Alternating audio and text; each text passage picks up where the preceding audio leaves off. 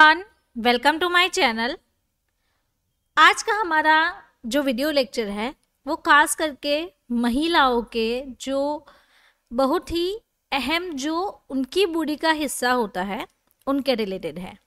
यानी कि गर्भाशय तो गर्भाशय में किसी को गांठें बन गई हैं, जिसे हम फाइब्रॉइड्स कहते हैं। फाइब्रॉइड्स में का मतलब ये होता है कि गांठें बनना। गांठें हो जाना। तो इसकी सबसे अच्छी कौन सी दवाई है? किस तरीके से आप गर्भाशय के गांठे को गला सकते हैं? तो यहाँ पे आप देखिए कि तीन तरह के यहाँ पे गर्भाशय के फाइब्रोइड्स दिखाए गए हैं। यहाँ पे सबसे पहले है सब mucosal fibroid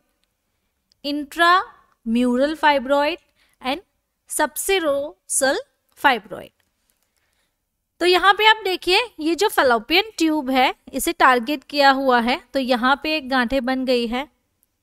फेलोपियन ट्यूब के अपर साइड जिसे हम पेडू कहते हैं तो पेडू के अंदर भी गांठे बनना या फिर उसके बाहरी ओर। तो ये जो गांठे बनती है, इसे आप कौन सी दवाई से गला सकते हैं, या फिर इसके कारण जो दर्द पेन रहता है, उससे आप कैसे राहत पा सकते हैं? लेकिन सबसे पहले यहाँ से हम जानेंगे कि इंट्रा म्यूरल फाइब्रोइड वो कहाँ पे होते हैं।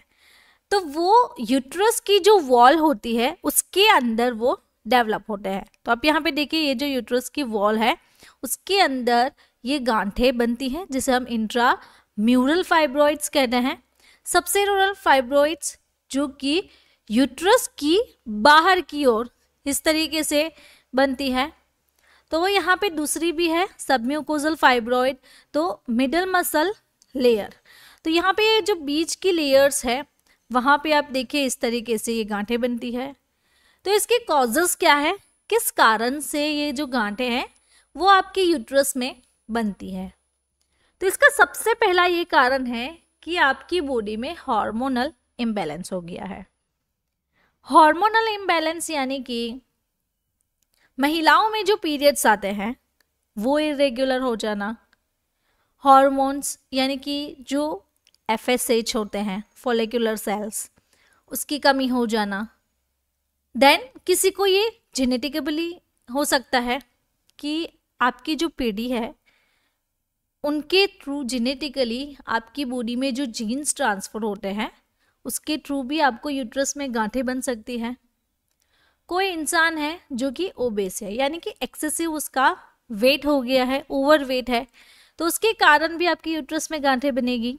देन पीसीओएस यानी कि पोलिसिस्टिक ओवरियन सिंड्रोम पीसीओडी भी होता है और यहाँ पे है पीसीओएस तो ऐसी कंडीशन में भी महिलाओं के जो ओवरीज होती है फिलोपियन ट्यूब्स होती है और जो यूट्रस होता है, वहाँ पे गांठें बनती हैं।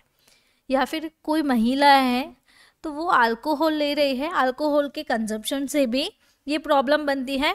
विटामिन डी की डिफिशियंसी और ख़ास करके ये जो प्रॉब्लम है, वो बहुत ही कॉमन रहता है स्ट्रेस तो स्ट्रेस का जो प्रॉब्लम है, वो महिलाओं में ज़्यादातर देखने को मिलता है। तो स्ट्रेस के कारण भी आपकी बॉडी में इस तरीके से गांठें बन सकती है। तो आगे हम देखेंगे कि इसका इलाज क्या है? कैसे इसे ठीक कर सकते हैं?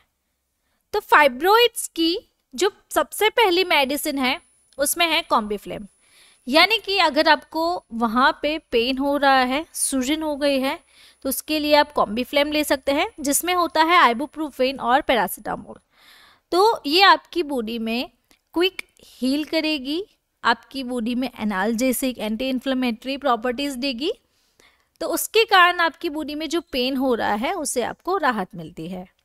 तो इसका जो डोज है, वो कितना लेना है? एक टेबलेट दिन में तीन बार आपको लेनी है। तो इस तरीके से इसका फिक्स डोज रहता है। दूसरी जो मेडिसिन है, वो है मोट्रिन तो मोट्रिन की यहाँ पे आप देख सकते हैं ड्यूअल एक्शन है। इसकी जो टैबलेट है, वो बहुत ही खास है। यहाँ पे आप देखिए एम प्लस टी तो मोट्रिन और टाइनेनॉल इसके कॉम्बिनेशन में एम टी बनाया गया है। यहाँ पे दो कलर्स भी है, इस तरीके से रहते हैं मोट्रिन एंड टाइलेनॉल तो स्पेशली इसमें जो मेडिसिन है, वो ये है कार्बोप्रोफेन और एसिटामिनोफेन तो ये जो टैबलेट है, वो आपको ड्यूअल एक्शन देगी। जैसे कि आपकी बॉडी में पेन हो रहा है।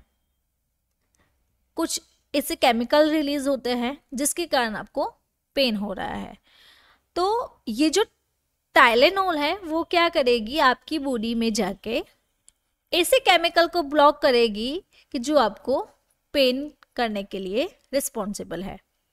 और मोट्रिन की हम बात करें तो मोट्रिन का काम यह है कि जो केमिकल्स होते हैं पेन के जो टारगेटिंग सेल होते हैं, उसके साथ वो बाइंड हो जाते हैं। इस तरीके से इसकी ड्यूअल एक्शन रहती है। ये जो मेडिसिन है, वो आपको दिन में एक बार लेनी है। नाउ वीडियो के बीच में मैं आपको बताना चाहती हूँ, हमारी बुक है, जिसका नाम है डिज़ीज़ एंड ट्रीटमेंट तो आप यहाँ पे इस वीडियो में देख सकते हैं, इस तरीके से हमारी पूरी कलर प्रिंटेड बुक है। इस बुक में सभी तरीके से जो डिज़ीज़ है, उसके बारे में सिखाया गया है, बहुत अच्छी इन्फॉर्मेशन दी गई है। तो टोटल 125 आपको इसमें डिज़ीज़ मिल जाती है। इसके साथ ही आपको कुछ ऐसी ट्रीटमेंट मिलती है, जैसे कि एलोपैथिक होम्योपैथिक आयुर्वेदिक तो बहुत अच्छी जानकारी दी गई है इसमें। इस बुक को परचेज करने के लिए इस व्हाट्सअप नंबर के थ्रू हमें आप कांटेक्ट कर सकते हैं। आगे देखते हैं कि होम्योपैथिक मेडिसिन में इसका क्या इलाज है। तो विजल के W L forty eight number ये नंबर आपको याद रखना है फोर्टी एट तो फाइब्रोइड यूट्रस के लिए बनाए गए हैं। तो इसका काम ये है कि आपको जो भी पेन होगा तो पेन को रिलीफ करने में ये आपकी मदद करता है। यानी कि किसी को पेल्विक फ्लोर में अगर गांठें बन गई हैं यूट्रस के अपर भाग में या फिर लोअर एरिया में तो उस कंडीशन में ये पेन को रिलीव करता है। इसमें कुछ ऐसे एक्टिव इंग्रेडिएंट्स हैं जो कि जो गांठें होती हैं, उसके जिस टिश्यूज़ है, जो सेल है, जो कि हार्ड हो गए हैं तो उसको सॉफ्ट करने में भी हेल्प करता है, जिसके कारण आपको पेन नहीं होगा। और जो महिलाओं में जो प्रॉब्लम रहती है पानी की, उसे भी ये जो ड्रॉप्स है, वो ठीक करता है स्टॉप कर देता है। तो इस तरीके से विजल के W L forty eight number काम करते हैं। लेकिन आपको इसे लेना कैसे है? कितना आप डोज लेंगे? तो आपको एक ग्लास पानी ले लेना है। उस ग्लास में आधे ग्लास तक आपको पानी भरना है। और इसके आठ से दस ड्रॉप लेने हैं और इसके अंदर डाल के आपको ये जो दवा वाला पानी है, वो मिक्स करके आपको पी जाना है। तो ऐसे दवा वाले पानी को आप दिन में तीन बार कंज्यूम कीजिए और थ्री टू सिक्स मंथ तक ये जो थेरापी है, वो आप कंटिन्यू रख सकते हैं। आगे हम बढ़ेंगे और जानेंगे कि मेरी एक चैनल है, जिसका नाम है सेहत टॉक। तो उस चैनल को भी आप ज़रूर से सब्सक्राइब करें। इस चैनल में भी आपको बहुत अच्छी जानकारी दी गई है और आपको मेडिसिन कोर्स जो है, वो फ्री मिलता है। यहाँ पे है दूसरी, जो कि मिथैल कोबालामाइन मेकोब्रूक प्लस। ये जो कैप्सूल है, वो यहाँ पे आप देखिए, यहाँ पे ब्लड्स है तो ब्लड को आपकी बॉडी में इंक्रीज करेगी। वैसे तो फाइब्रोइड जो है, वो कंप्लीटली ठीक नहीं हो सकता है। लेकिन आपको फाइब्रोइड्स में जो पेन हो रहा है, जो ब्लीडिंग हो रही है कभी कभार तो उसको रोकने के लिए और आपकी बॉडी में प्रॉपर ब्लड सप्लाई हो उसके लिए आपको बी ट्वेल्व के सप्लीमेंट्स लेने चाहिए। तो इसमें अच्छे सप्लीमेंट्स है। Methyl cobalamin alpha lipoic acid vitamin B six and folic acid तो इसकी कॉम्बिनेशन जो कैप्सूल है मेकोब्रुक कैप्सूल उसके कारण आपकी बॉडी में ब्लड सप्लाई अच्छा होगा। एच बी यानी कि हीमोग्लोबिन अच्छा बनेगा। तो आपकी बॉडी मेंटेन रहेगी। नाउ यहाँ पे है हमारे पास आयुर्वेदिक मेडिसिन में फाइब्रोइड किट तो फाइब्रोइड किट में आप यहाँ पे देख सकते हैं कि फोर तरह की, यानी कि चार तरह की यहाँ पे कैप्सूल है. एज एड EV alpha heel fibro heel and सिस्टोआ नील तो ये जो चारों किट में दी गई है, इसे लेना कैसे है?